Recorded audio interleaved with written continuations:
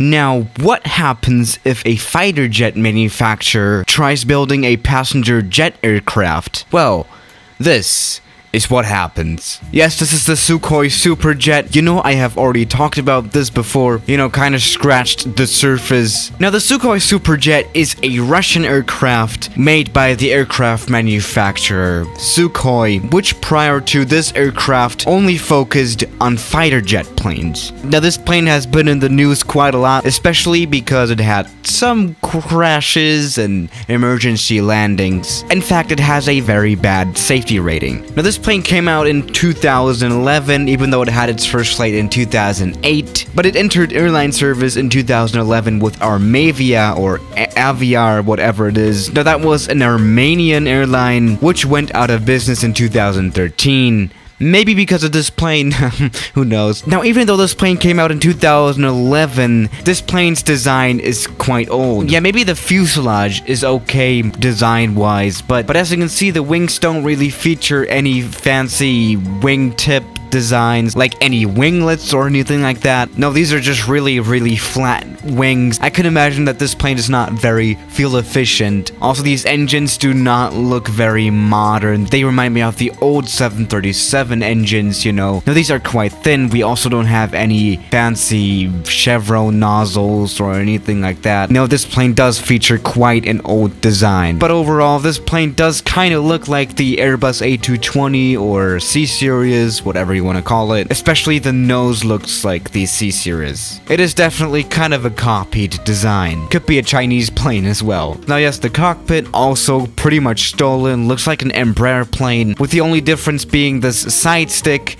Yeah, you can say that the designers of this plane kind of had some inspiration you know. But that does not matter, right? The most important thing is obviously that this plane flies, which it does. Now, talking about flying, let's try that part. Alright, let's go. Rotate. It was okay. We are actually flying. That's good. Now, how's this plane doing? Is it a success in aviation?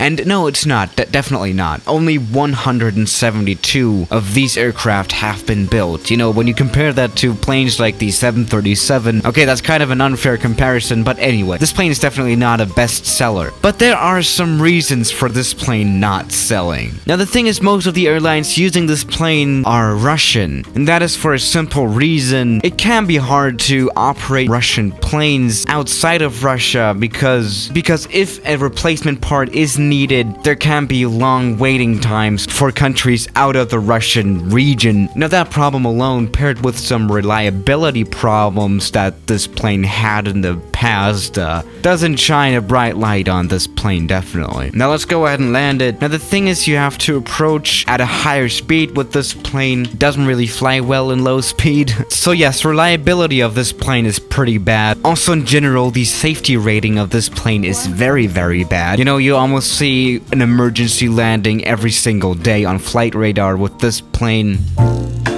Even though there are planes that are worse than this one, this plane is not that much of a plane that I would feel comfortable flying in. Now landing is a bit special. 50, 40, 40, 20, 10 feet.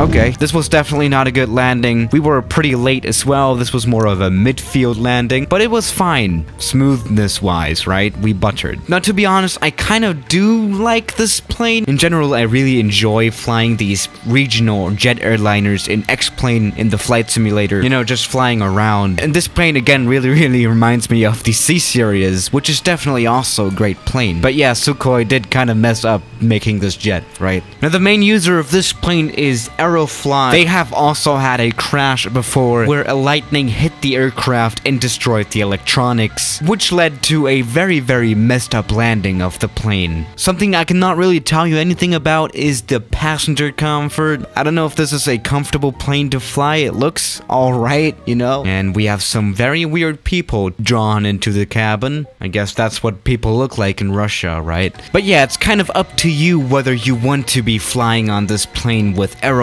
I'm pretty sure that you can see the super jet flying around in Europe as well. So yeah, you can for sure kind of try the plane out, right? You can just fly it. But as an airline, I would probably not purchase the plane, even though you can save some money, you know, when you buy Russian planes. So yeah guys, uh, thank you for watching today's video, and I'll see you tomorrow, as always, good night.